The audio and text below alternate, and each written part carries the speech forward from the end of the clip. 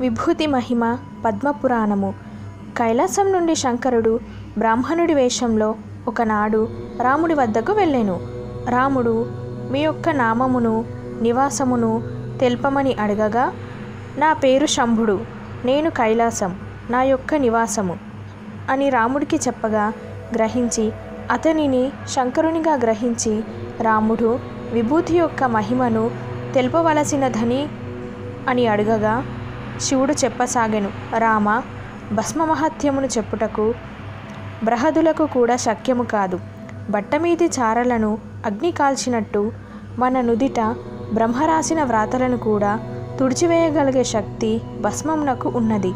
విభూతిని మూడు రేఖలుగా పెట్టుకున్నచో త్రిమూర్తులను మన దేహం మీద ధరించినట్లుగాను ముఖమున భస్మమును ధరించిన నోటి పాపములను చేతులపై ధరించిన చేతి పాపములను హృదయంపై ధరించిన మనఃపాతకములను నాభిస్థామున ధరించిన వలన వ్యభిచారాది దోషములను పక్కలయందు ధరించట వలన పరస్త్రీ స్పర్శ దోషములను పోగొట్టును.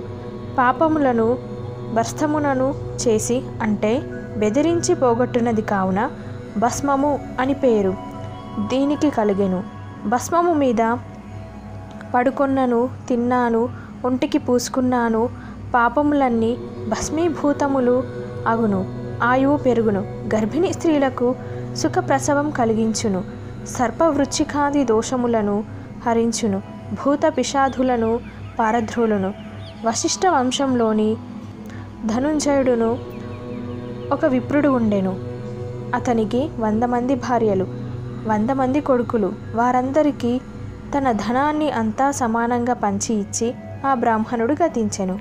కొడుకులు అసూయతో దురాశతో ఒకరి ధనం కోసం ఒకరు ఆశపడుచు తన్నుకోసాగిరి. వారిలో కరణుడు కొడుకు శత్రు విజయమును సాధించవలనని గంగా తీరమునకు వెళ్ళి స్నానం చేసి తపము చేయవలనని కోని పుల సేవ చేయుచుండగా ఒక విప్రుడు నరసింహాదేవునికి ప్రీతి అని ఒక నిమ్మ పండుని తెచ్చి అక్కడ పెట్టెను. దానిని వీడు వాసన చూసెను. అందుకు మునులు గ్రహించి ఈగవై పొమ్మని శపించిరి.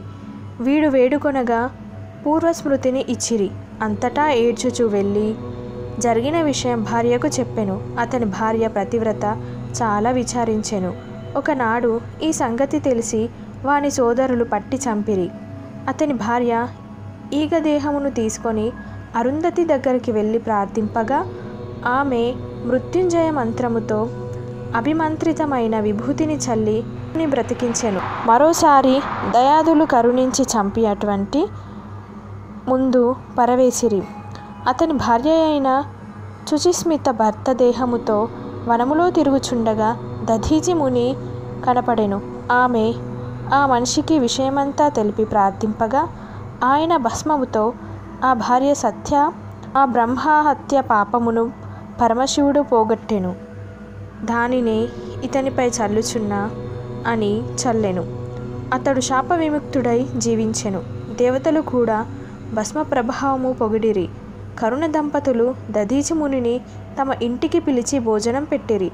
అతడు వారిని దీవించి వెళ్ళిపోయాడు. ఆవు పేడ పిడకలను శతారుద్రియ నమకము మంత్రము చెప్పుచు కాల్చి భస్మము చేయవలెను. మంత్రములు రాకున్నచో ప్రణవము ఉచ్చరించవలెను. ఓం మంత్రము రానివారు ఓం నమ శివాయ.